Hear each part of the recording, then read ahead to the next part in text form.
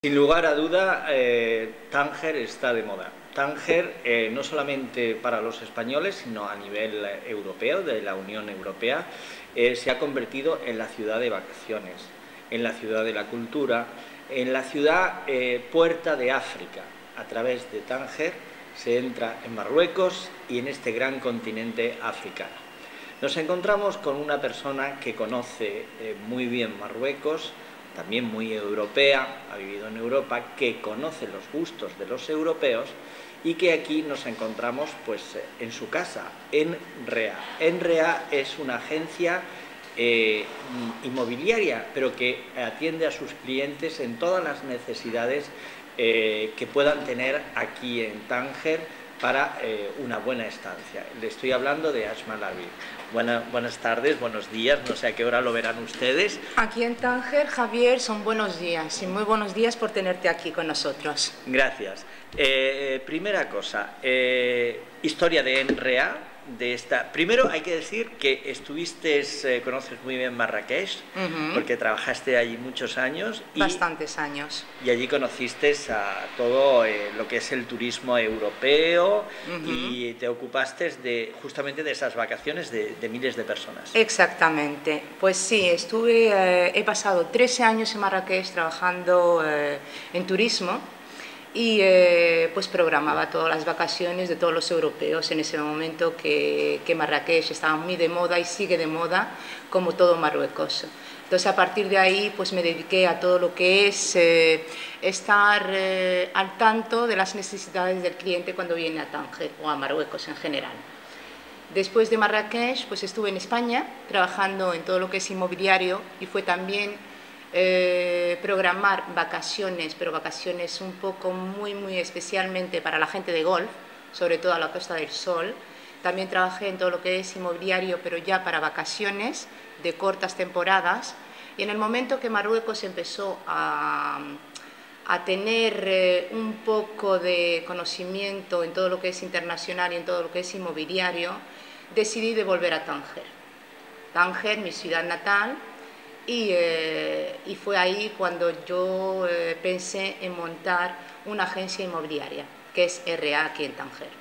¿Qué tipo de clientes eh, trabajas? ¿Con qué tipo de clientes? ¿Mayoritariamente europeos, franceses, españoles, belgas? Trabajamos un poco con todo tipo de clientela. Más bien, eh, eh, si podría decir, RA normalmente, ah, en el primer momento que nos instalamos en Marruecos, en Tánger, pues eh, nos hemos dedicado a hacer mucho todo lo que es publicidad a través de net.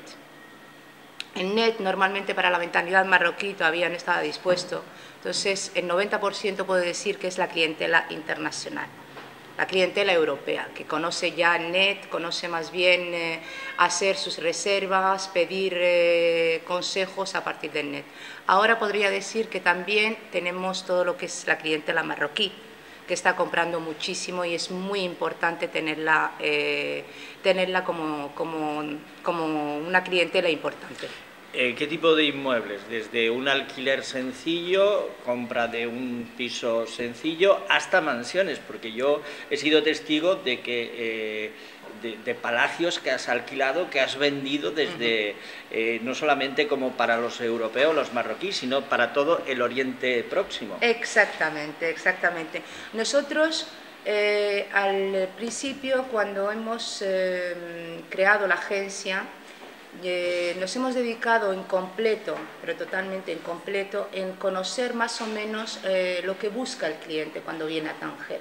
No nos hemos dedicado a vender, nos hemos dedicado a hacer un estudio general de lo que necesita el cliente cuando viene a Tánger. Y ya a partir de ahí pues hemos sabido que el cliente pues necesita como una casa normal para tenerla, para vivir, como una mansión para venir a pasar sus vacaciones. Entonces, la oferta, como si, eh, eh, si, os puedo hablar de nuestra oferta de RA, tenemos apartamentos sobre una base mínima de, puede ser de 90.000, 100.000 euros, de lo más normalito, hasta casas de 3 millones, 4 millones de euros. Y se, y se venden, se venden. Hay clientes para todo. Barrios importantes como el donde se encuentra la casa de la que fuera casa de Yves Saint Laurent. Es una zona muy privilegiada. Ahí eh, sé que incluso tiene expansiones para alquilar en verano. Exactamente. Que además lo que quería decir que este año con el Ramadán a finales de agosto eh, aquellas todas aquellas personas eh, que deseen alquilar sus vacaciones tendría que ser ahora cuando vean sí, esto. sí justamente por eso Javier la semana pasada hemos estado viendo todo lo que son las demandas que tenemos para el verano y normalmente solemos tener demandas pues a partir de marzo, abril, para ya cerrar las, eh, todas las reservas de, de alquileres eh, de vacaciones de, de, verano, pero este año ya la gente empieza a reservar ahora mismo porque, como ha dicho Javier, el Ramadán lo tenemos a partir de ya la, la segunda quincena de, del mes de agosto y justamente por eso estamos cerrando todo lo que son las reservas de vacaciones ahora. ¿De qué precios podemos hablar? Eh, eh, el mercado inmobiliario a nivel mundial se ha resentido mucho. ¿Hay oportunidades aquí en Tánger? Siempre hay oportunidades, cuando se sabe lo que quiere el cliente.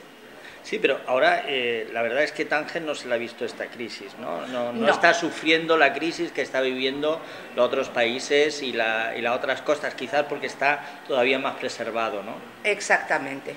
Hasta el momento nosotros eh, aquí, por lo menos en la agencia y según eh, todas las entrevistas, las reuniones que tengo con, eh, con la gente que está dentro de, del mundo inmobiliario, hasta el momento no, nos, no podemos decir que estamos afectados o nos ha afectado la palabra crisis. Bien. una invitación a todos aquellos que nos vean a través del canal YouTube, que vamos uh -huh. a estar, y los demás canales una invitación a venir a esta bella ciudad de, de Tánger. La invitación, la invitación de venir, de, de, venir a partir de ahora, Tánger, la verdad, eh, no es porque yo esté aquí, Tánger se está volviendo una ciudad bastante, bastante interesante. La gente de Tánger, toda la gente de Tánger que se ha ido, que no le ha dado interés durante muchos años, porque hay que decir que Tánger ha sido abandonado durante muchos años, ahora está volviendo porque tenemos mucho, mucho que hacer en Tánger. Y también esperamos tener la oportunidad de que los otros que estén fuera eh, hagan mucho por Tánger porque se lo merece. Bueno, yo lo que quería decirle con esto, gracias a Gracias a ti, Javier. Eh, directora de ENREA y además eh, una guía imprescindible aquí en Tánger, porque Tánger no solamente es esos grupos que ustedes ven que son muy bien recibidos de autocares de turistas que vienen para una jornada, sino también aquellos que permanecen aquí en Tánger. Eh, se encuentran ustedes con unos restaurantes eh, maravillosos, se encuentran con lugares donde ustedes pueden eh, llevar una semana mm, privilegiada. Gracias.